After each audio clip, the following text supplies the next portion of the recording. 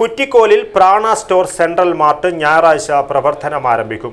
Uduma M L A C H Kunhambu ഉദ്ഘാടനം നിർവഹിക്കും. നിത്യോപയോഗ സാധനങ്ങൾ ഏറ്റവും കുറഞ്ഞ നിരക്കിൽ പ്രാണ സ്റ്റോറുകളിൽ നിന്നും ലഭ്യമാണെന്ന് അധികൃതർ വാർത്താ സമ്മേളനത്തിൽ അറിയിച്ചു.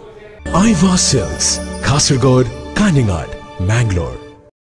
പ്രാണിയുടെ പന്ത്രണ്ടാമത്തെ സ്റ്റോറാണ് ഞായറാഴ്ച കുറ്റിക്കോലിൽ പ്രാണ സ്റ്റോർ സെൻട്രൽ മാർട്ട് എന്ന പേരിൽ പ്രവർത്തനം ആരംഭിക്കുന്നത്.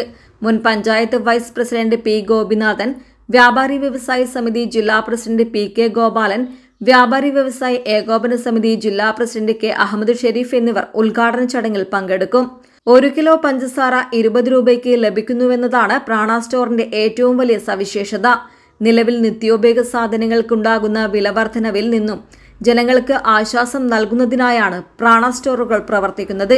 കേരളത്തിൽ എഴുന്നൂറിലധികം ഫ്രാഞ്ചൈസികൾ തുറന്നു പ്രവർത്തിക്കാൻ തയ്യാറെടുത്തുകൊണ്ടിരിക്കുകയാണെന്നും അധികൃതർ അറിയിച്ചു.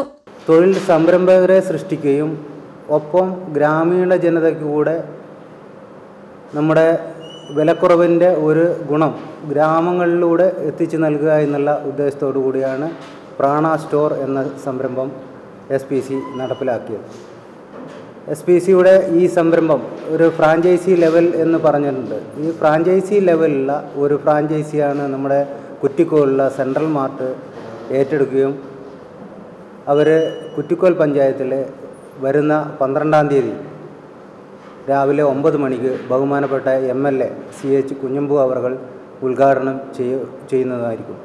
പ്രാണ സ്റ്റോർ ഉടമ Satheesan Kuttikol sales head Dineshan P V ജില്ലാ കോർഡിനേറ്റർ ബിൽസെറ്റ് സി എ ബെന്നി എന്നിവർ വാർത്താസമ്മേളനത്തിൽ സംബന്ധിച്ചു. News bureau Kasaragod.